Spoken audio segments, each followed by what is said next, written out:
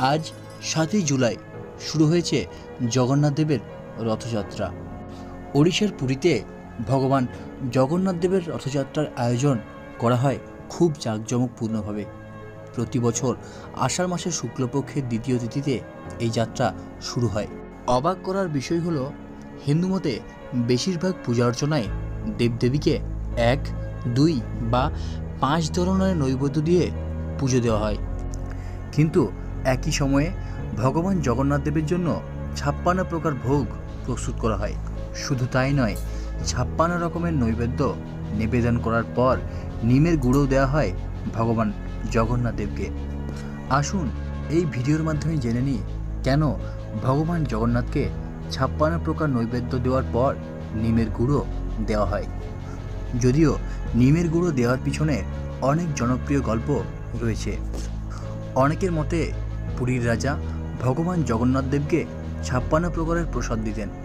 মন্দির থেকে কিছু দূরে এক মহিলা বাস করতেন।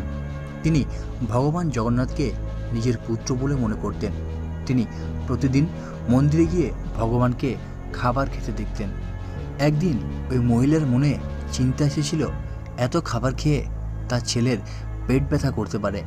তাই তিনি অবিলম্বে ভগবান জগন্নাথের জন্য নিমের গুঁড়ো তৈরি করে তাকে খাওয়াতে এসেছিলেন।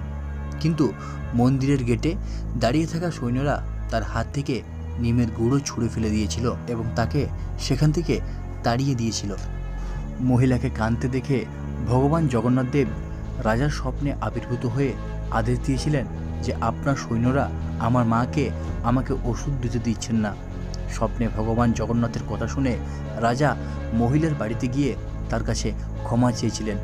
এরপর মহিলাটি আবার নিমের গুঁড়ো তৈরি করে ভগবান জগন্নাথ দেবকে খাইয়ে দিয়ে গিয়েছিলেন। কথিত আছে, তখন থেকেই ভগবান জগন্নাথ দেবকে ছাপ্পান্ন প্রকার নৈবেদ্য নিবেদনের পর নিমের গুঁড়ো দেওয়া হয়। ভিডিওটি ভালো লেগে থাকলে অবশ্যই লাইক, কমেন্ট এবং শেয়ার করুন।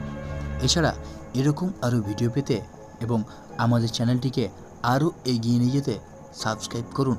কিছু কথা ইউটিউব চ্যানেল